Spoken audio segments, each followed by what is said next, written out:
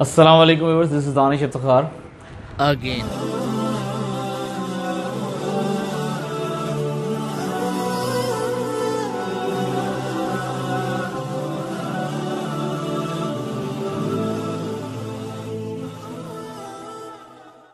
Okay viewers अब जो हम रेसिपी की तरफ़ आ जाते हैं बहुत सिंपल तरीके से बताऊँगा।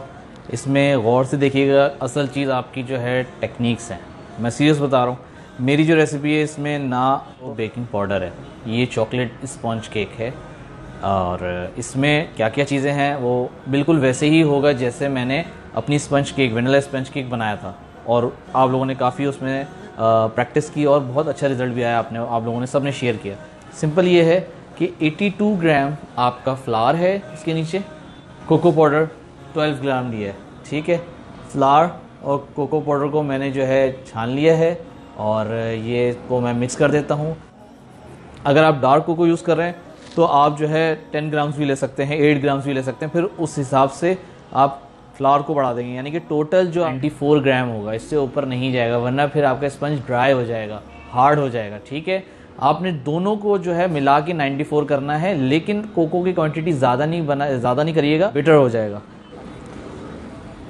मिक्स करके अच्छे से हम रखेंगे कि कोई लम्स वगैरह ना हो। स्पॉन्ज केक के लिए आप लोग इसको दो दफ़ा छाने तो बहुत अच्छा रहेगा क्योंकि जितनी ज़्यादा इसमें एयर जाएगी आ, उतना ज़्यादा जो है इसका रिज़ल्ट अच्छा आएगा। स्पॉन्जी बनेगा ठीक है?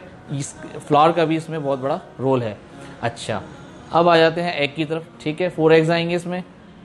94 ग्राम कास्टर शुगर जाएगी ठीक है? वेनिला एसेंस है हाफ़ टी स्पून सबसे पहले एग को सिर्फ़ मिक्स करके फिर उसके चीनी डालेंगे, ठीक है? हैंड बीटर में यूज़ करूँगा ताकि आप लोग को ये ना हो कि, सर, आप तो बेकरी में होते हैं इक्विपमेंट्स होते हैं, वहाँ पेस्ट्री या हमारे स्पंज इसलिए नहीं उड़ पाता। नहीं, ऐसी बात नहीं है। ये हर घर में होगा, जहाँ पे बेकिंग की जा रही है, वहाँ ये मेरे ख्याल से तो होगा हैंड बीटर ठीक है? अब इसको जो है हम इससे स्टार्ट करते हैं। ये बाउल ले लिया, इसमें हम फोर एग डालेंगे।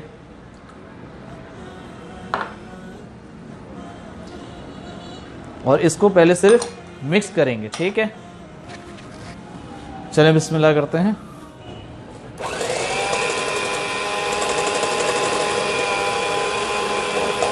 पहले स्लो स्पीड में चलाएँगे, सिर्फ़ एग मिक्स हो जाए एक दूसरे से। ठीक है, ये देखें आप एग मिक्स हो गए हैं, अब हम शुगर डालेंगे, ठीक है?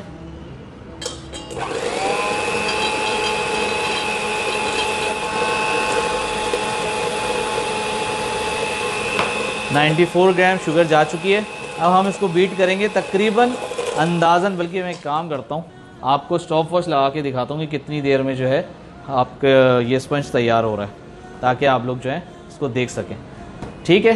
अभी मैंने चीनी डाली है, अब देखते हैं कितनी देर में रेडी होता है।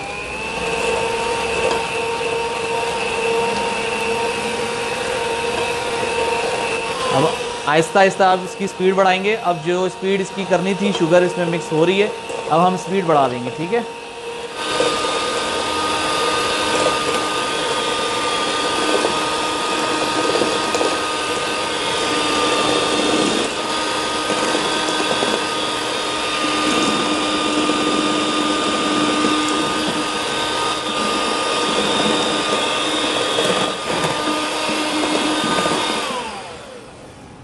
अच्छा व्यूअर्स मैंने यहाँ पे स्टॉप इसलिए किया है, इसको भी स्टॉप कर देता हूँ मैं अभी फ़िलहाल। तीन मिनट अट्ठाईस सेकेंड हुए हैं, ठीक है ना? अब आप लोग क्या गलती करते हैं? आप लोग इसको समझते हैं, ये हो गई। ये ये एग तैयार है, ऐसा नहीं है। ये अभी इस कंसिस्टेंसी में है ही नहीं कि इसमें जो है फ्लावर ऐड किया जाए, ठीक है? तो अभी और बीट करेंगे, उसके बाद देखते हैं, ठीक है?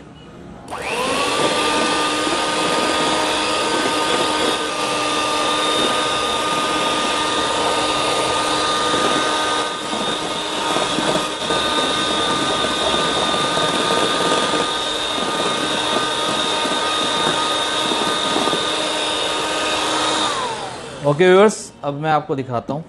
ये देखें। कितने मज़े से ये अभी होल्ड होके तब गिर रहा है। सही ना? ये मेरे हिसाब से रेडी है। ये देखें। होल्ड होके अब गिरना शुरू हो रहा है। और नीचे जाके शेप होल्ड कर रहा है। ठीक है ना? तो ये मेरे हिसाब से रेडी है। और इसको कहते हैं रिबन स्टेज असल। ठीक है ना? ये भी नहीं होना चाहिए। जैसे मैं अपनी पहले वीडियो में बता चुका हूँ कि ये ऐसा नहीं हो कि आपकी क्रीम की तरह या मरैंग की तरह जो है ये लगी रह जाए यहाँ पे स्पंज की बैटर और गिरे नहीं। ऐसा नहीं करना है। फिर वो ड्राई हो जाएगा, वो ओवर बीट हो जाएगा, ठीक है? ये स्टेज सबसे परफेक्ट है। फ्लावर ऐड करेंगे और कितना, किस तरीके से करेंगे, वो असर है।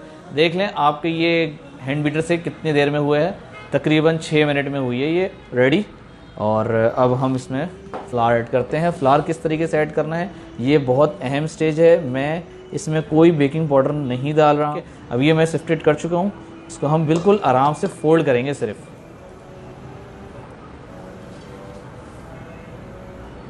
ये देखें, कितने कितने आराम आराम से किया जा रहा है। 180 डिग्री सेल्सियस में ओवन किया जाएगा प्री हीट और तकरीबन ये 25 30 मिनट में ये बेक होके निकलेगा। ये हमने मिक्स कर रहे हैं, देखें कितने सुकून से और देखते हुए कि कोई लम्स ना रह जाए। हमने बैटर को बैठने नहीं देना है, ठीक है? आराम आराम से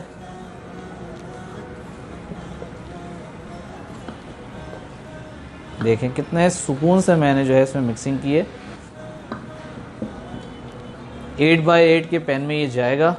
इसमें मैंने ग्रीसिंग कर ली है पार्चमेंट पेपर लगा लिया है, और ये बहुत ज़रूरी होता है काम कि, पहले से जो है आप लगा के रखें, वरना एंड टाइम पे आपको परेशानी होगी। ठीक है? बैटर की कंसिस्टेंसी देख लें। अभी भी फोमी है, और ये अब जाएगा एट बाई एट के पैन में। ठीक है? लाइसेंस वन टी जाएगा। ठीक है?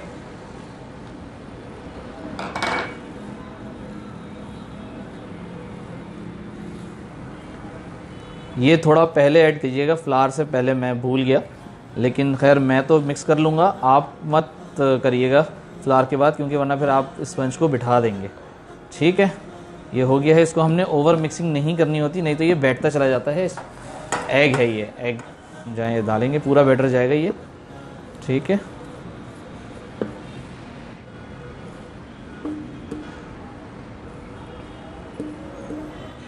ओके व्यूअर्स ये पेन रेडी है। अब ये ओवन में जाएगा। देखें कितना मैंने इसको फिल किया है। आप लोग क्या करते हैं? छोटे साइज़ का पेन ले लेते हैं फोर एग की रेसिपी में।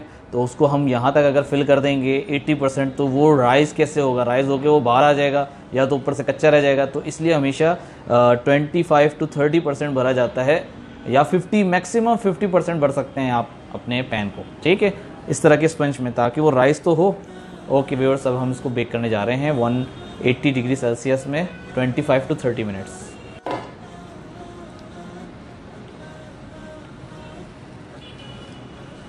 ये देखिएगा व्यूअर्स, बहुत सॉफ्ट, बहुत ही स्पॉन्जी। ठीक है, मैं इसको कट करके दिखाता हूँ। ओके व्यूअर्स, इसको मैं अभी कट करता हूँ ताकि आपको अच्छा कट करने का भी कुछ लोग तरीका पूछते हैं कि, सर, कट कैसे किया जाए? अब उसकी भी वीडियो बनाए। चल नहीं ये आपकी नाइफ़ आ गई। नाइफ़ को बिल्कुल स्ट्रेट रखेंगे। ना ऐसे ना ऐसे। ना अप ना डाउन बिल्कुल हॉरिजॉन्टल वे में रहेगा। और इसको आप रख के आपने ताकत से ज़्यादा जो है ना स्लाइड करना है। ठीक है? आपने इस तरफ़ प्रेशर नहीं देना है। आपने हल्का हल्का प्रेशर देंगे, लेकिन आपने असल इसको स्लाइड करते रहेंगे। ऊपर, नीचे up and down up and down और नाइफ़ को अपनी सीधी रखेंगे। ठीक है ये आपका कट हो गया। ये देखें ये स्पंज आपके सामने है। देखें कितना सॉफ्ट बहुत ही स्पॉन्जी आप बिल्कुल ट्राई करें कोई इसमें टेंशन की बात नहीं है। एक दफ़ा गलत बनेगा दो दफ़ा गलत बनेंगे। लेकिन वीडियो को बार बार देखें तो आपको पता चलेगा कि मैं कितनी आ, मैंने टेक्निक इस्तेमाल की है किस तरीके से मैंने इसको आ, फोल्डिंग किया है कोको को और फ्लावर को ये सबसे अहम है। और दो दो चीज़ें इसमें बहुत अहम है। एक किस स्टेज में हमने बीटर को रोकना है? यानी कि एग और शुगर को बीट करने के वक्त किस वक्त हमने इसको रोकना है? किस तरीके से फ्लावर को हमने इसमें ऐड करना है, फोल्ड करना है? ये दूसरा बड़ा अहम तरीका है जो कि हमें ये देखना पड़ेगा और उस हिसाब से फिर आप इसको बनाएँ और इन्जॉय करें। अपना ज़रूर ख्याल रखिएगा और दुआओं में याद रखिएगा।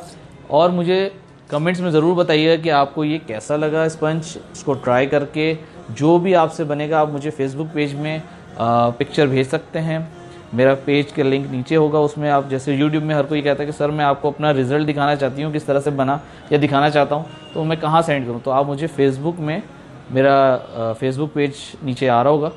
उसमें जो है आप मुझे वहाँ पे तस्वीरें भेज सकते हैं। ठीक है? अपना ख्याल रखिएगा। नेक्स्ट वीडियो के साथ इंशाल्लाह जल्द हाजिर होऊँगा। अल्लाह हाफिज़।